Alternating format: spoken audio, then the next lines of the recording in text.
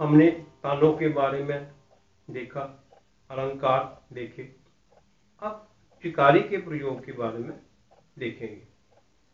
अब चिकारी का प्रयोग, पहले एक चिकारी का प्रयोग। जैसे दा से बाज की तार पर स्ट्रोक लगाएँ या मेन तार पर स्ट्रोक लगाएँ, और ऊपर जाते समय चिकारी पर प्रहार करें। मिजराब से तो ये एक शिकारी का प्रयोग जैसे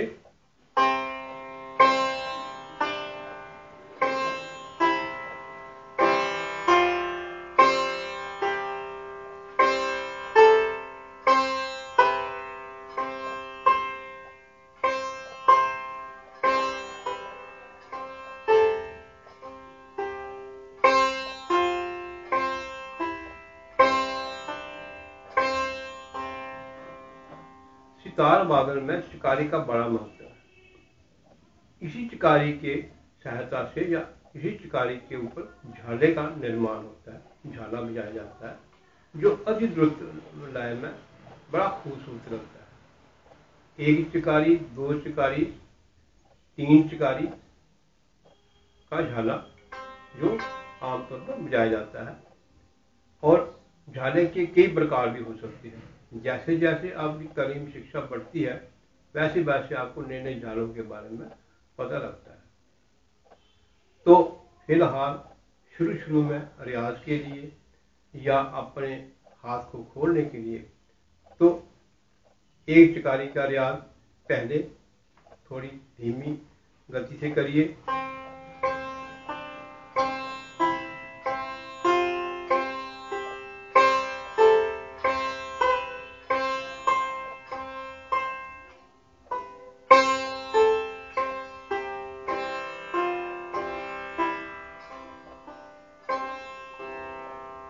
धीरे धीरे बढ़ाएँ के साथ।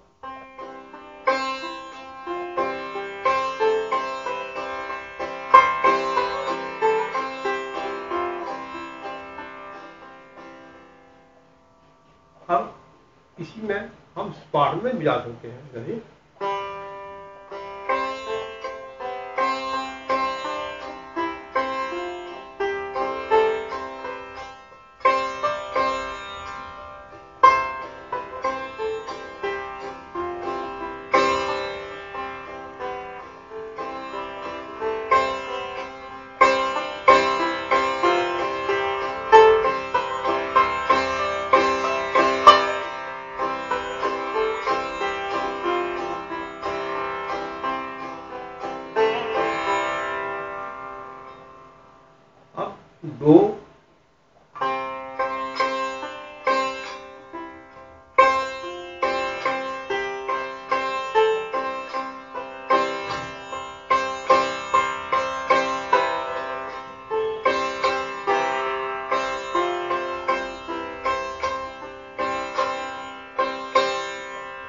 तीन चिकारी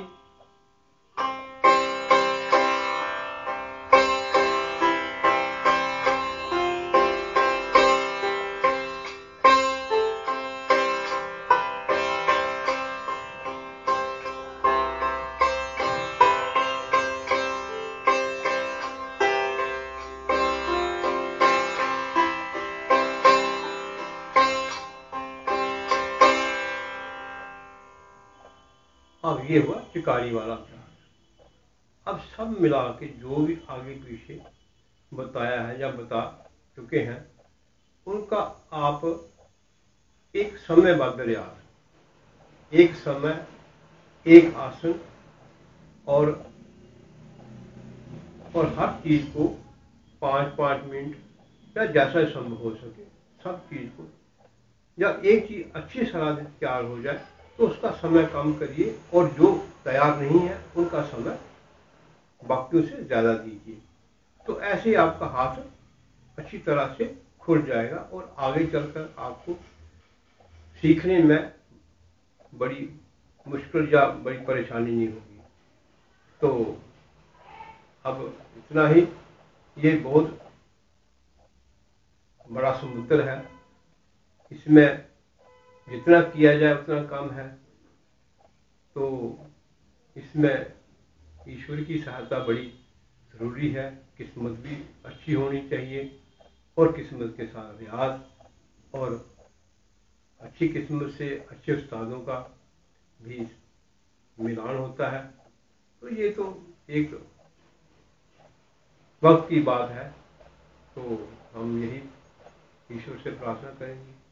उस खुदा, उस वाहिगुरु, अल्लाह से कि आपके अच्छा सहयोग हो और आपको अच्छा सीखने का ईश्वर मौका प्रदान करे।